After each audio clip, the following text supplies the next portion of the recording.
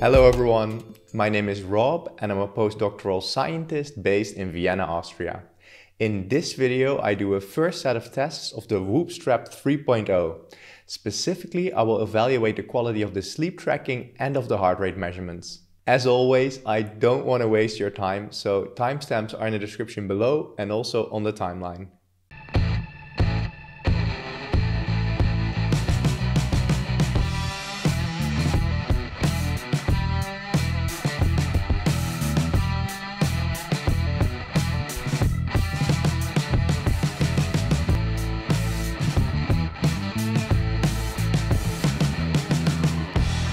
For those of you that are not familiar with the Whoop strap, it's a fitness strap without any sort of screen or on-device interface that you get with a monthly subscription to Whoop.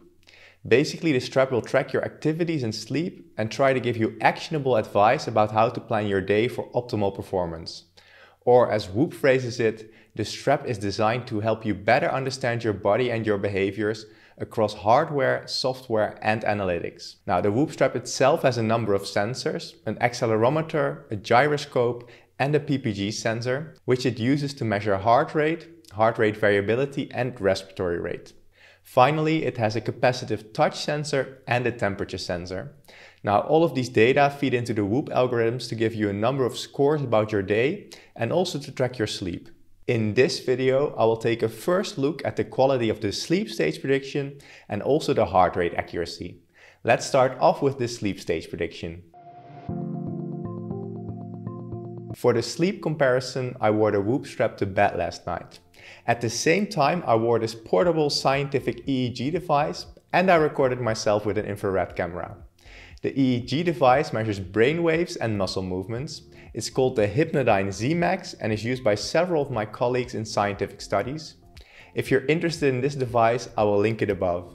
I manually went through the recording of the EEG and scored each part of the night for the different sleep stages. I also manually went through the Whoop strap sleep stages and noted those down in a table so I could analyze them. With the infrared recording, I can actually check what my movements were like and check if the Whoop strap correctly predicts those moments that I'm awake.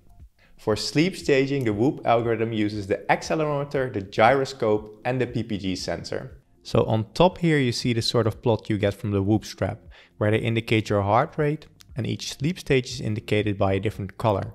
Now it's quite tricky to see since they're all different colors of blue, but in red my periods of wakefulness are indicated. So there's these longer periods here that are completely red where I was awake for a while according to the Whoop strap. And there are these short red lines here which I think are according to Whoop the moments where I had a short wake up. Now on the bottom here you see the same plot but now as I made it with my programming language.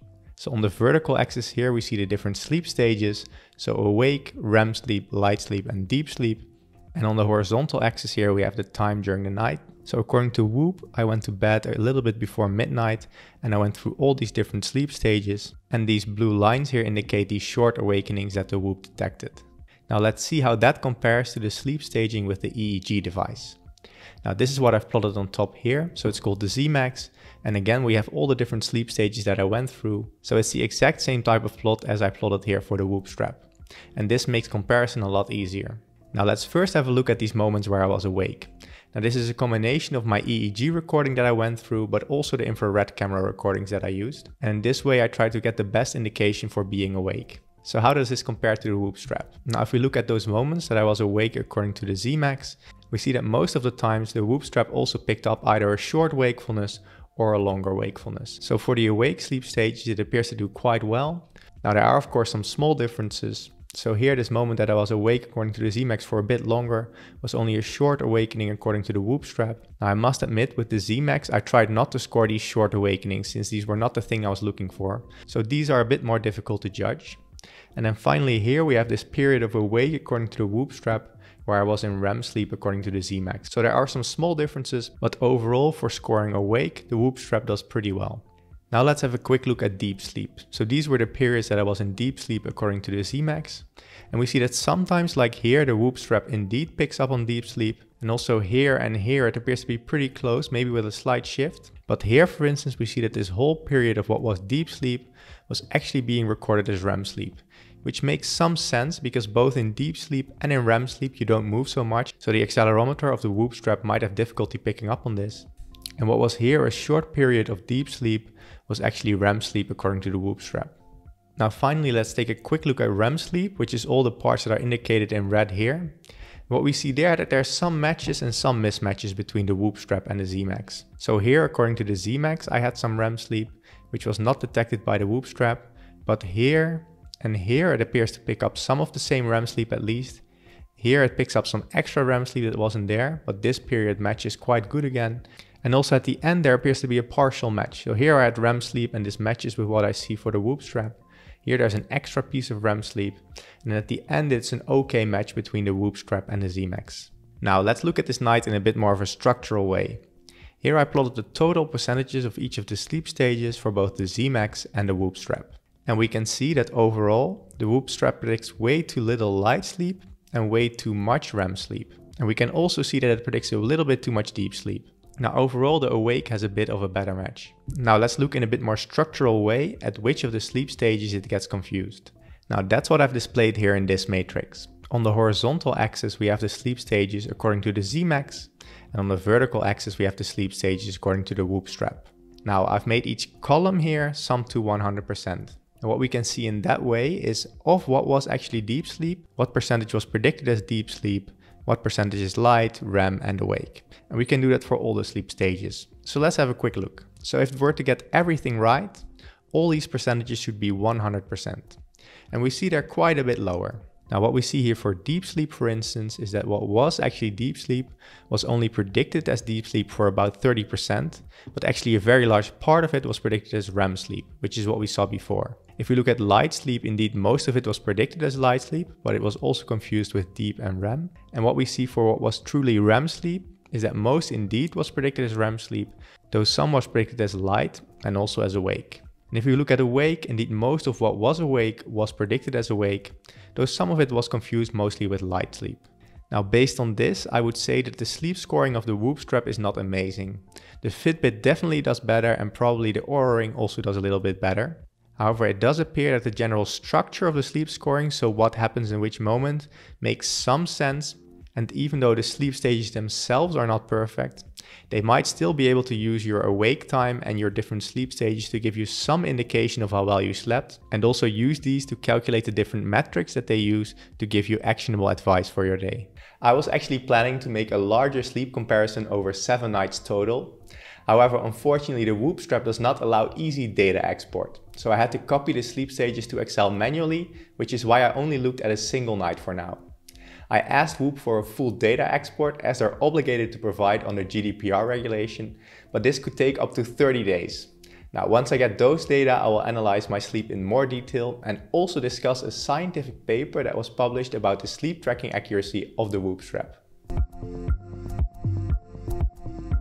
To test the heart rate accuracy of the Whoop strap, I will compare it against the Polar H10 chest strap, which is generally considered to be one of the most accurate consumer devices available for heart rate measurements. I wore both the Whoop strap and the Polar H10 chest strap for two spinning sessions and one weightlifting session.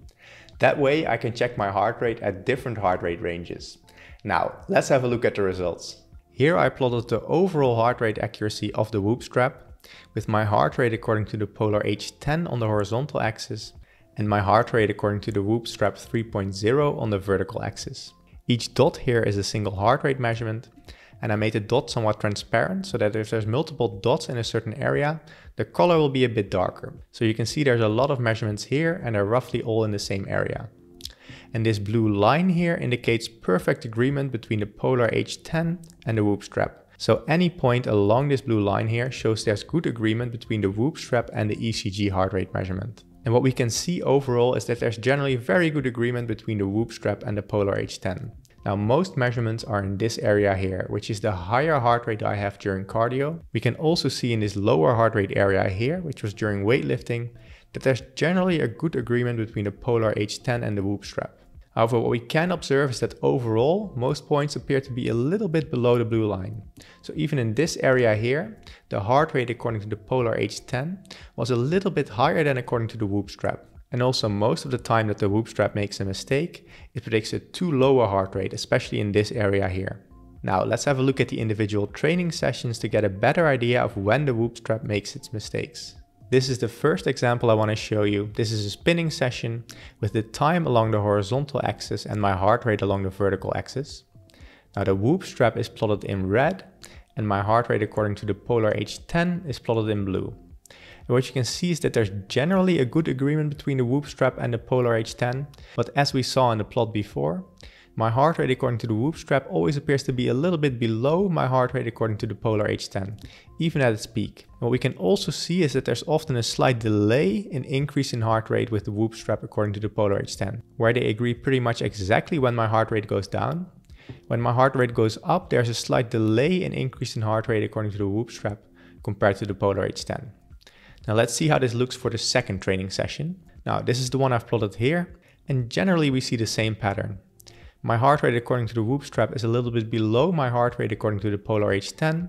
And in the increase in heart rate, there's a slight delay in increase, whereas with the decrease, there's a very good match.